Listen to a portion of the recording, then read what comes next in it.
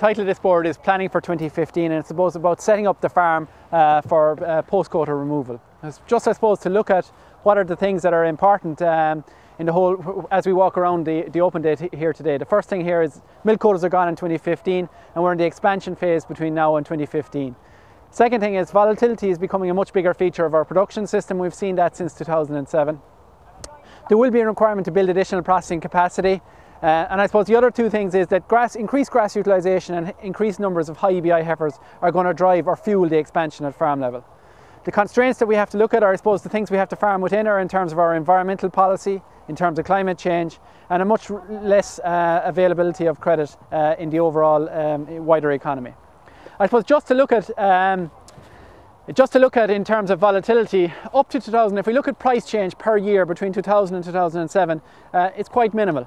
But if we look at the graph, we can see that after 2007, there's huge changes in, in both input and output prices. The output prices in terms of milk are largely driven by a reduction in support for, for uh, market support in terms of CAP, in line of uh, intervention and export refunds. Um, and in terms of input prices, probably driven a lot more by uh, volatility in energy uh, costs around the world and oil prices. So we can see here that our production systems are much more exposed to volatility and have been over the last couple of years. So risk is much more pronounced and we need to have risk reduction strategies and most of what we see here today in terms of generating high EBI heifers, increasing grass utilisation are essentially about, um, are about re reducing risk at farm level and increasing profitability. The final one in terms of risk is milk quota. Um, at the end of the 2009-2010 year, we finished our milk quota at 10% under quota. Since then, uh, between 2010 and 2011, we increased milk output by 10.5%, finishing 2011 just 0.45% under quota. So essentially, we have significant uh, increase in output. There's more heifers entering the dairy herd, so there is potential uh, for further levy, super levies, and we need to develop a milk quota management plan. Just in terms of seasonality, there are uh, costs associated with seasonality, and I suppose what we do is we look at um, what we've done here is compared spring calving, so 100% spring calving versus a scenario where we calf 50% of the herd in, in, the autumn and 50% in the spring. We're trying to quantify what the net effect is for the overall industry or what strategy the overall industry should take. So at farm level, by um, moving to a 50-50 spring autumn, we reduced our profitability by 2.3 cent a litre. Um, and at processing level we gained one cent per litre or we could pay an extra one cent per litre. That's an overall net reduction of 1.3 cent per litre by moving from a spring calving system to a 50-50 spring autumn. In terms of the national situation, if we scale that up to with 5.2 billion litres, we're talking about a loss at farm level by going from a spring to 50-50 autumn spring of 114 million and again a processing level of somewhere in the tune of 49 million. Basically what that is is a net loss of 65 million.